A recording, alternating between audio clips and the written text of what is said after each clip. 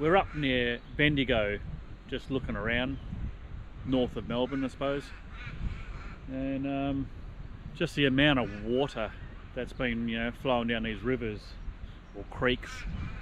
Um, we're parked next to one now, but obviously, you know, a few weeks, a month ago, the water, you know, was right up here. Um, you know, gates, gates and fences and trees, you know, branches and stuff caught up on up in trees. I don't know if you can see that, but farmers' fences um, just covered in sticks and you know branches and stuff. I mean, the water was right up here. It's nuts. You know, half the fence. There's fences and wire wrapped around trees. It's uh, it's amazing amount of water that's come through here. Um, yeah, until you see it, it's hard to believe it. We should be okay. Unless it pisses down rain, but had so much water. Until you see it, it's, it's, it's crazy how much water I've had here how much rain they've had here. We're just outside Ballarat um, at this lake we're going to go to the Ballarat race course. Horse racing today, so we're going to go in there and make some bets. But beautiful day yesterday and uh, shit day again today. So I don't know how we're going to go, but there's some storm coming in, so let's see how we go.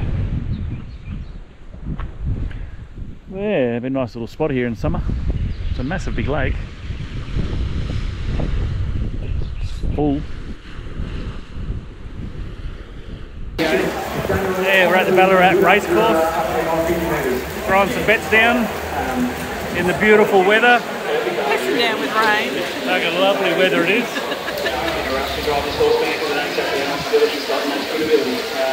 yeah, won a few dollars, that's about it. Yeah, a couple of dollars. That's atrocious out there. Ah. Still having fun. wherever he goes en route to uh, $14 million race contender. Yeah, it'd be nice to have a lot of success for these telescopes, get her on. Uh, just with the emissions out there, I imagine it's just continuing. don't know if you can see that.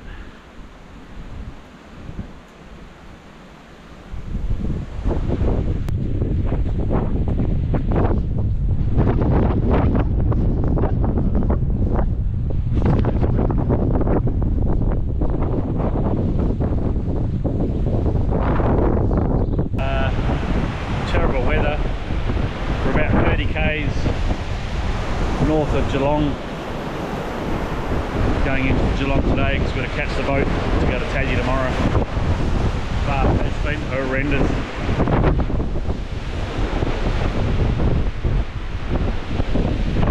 A place called Maude in Freecamp, really nice. But gale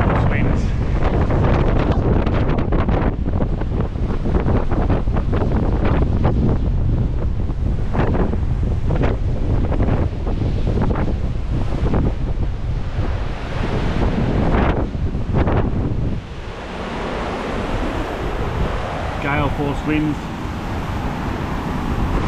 A bit worried about driving the van actually.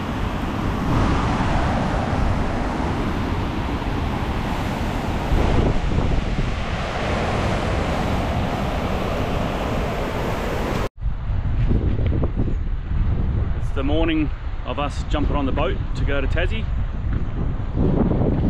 And uh, yeah, pulled up here last night only around the corner from the port in the industrial area. Grain bins are over there. And I think this was an old power station, derelict. And um,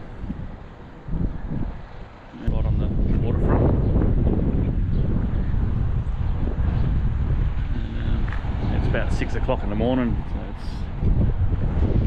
it's, chilly. So yeah, we're three minutes away from the port. Um, you're not supposed to camp here, obviously, but um, I'm surprised there's no one else. It's just us. So a good little spot. We've just gone through the quarantine area back there, and uh, yeah, now we're just lined up, uh, waiting to go on the boat. So we're getting on the Spirit of Tasmania. Six and a half weeks we've been waiting for this and we're finally getting on. Down in the depths we go.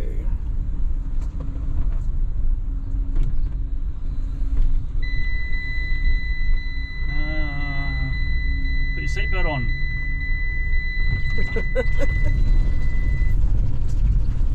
Off we go, off we go.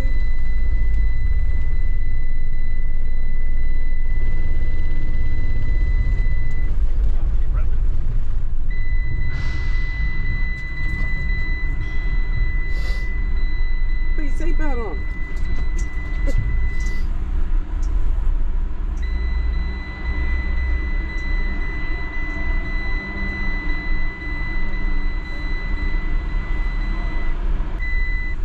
Mm, mm, mm. Go the other way. Yeah.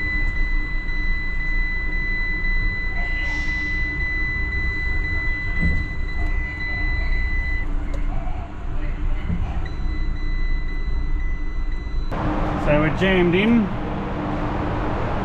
Not a lot of room between the vehicles.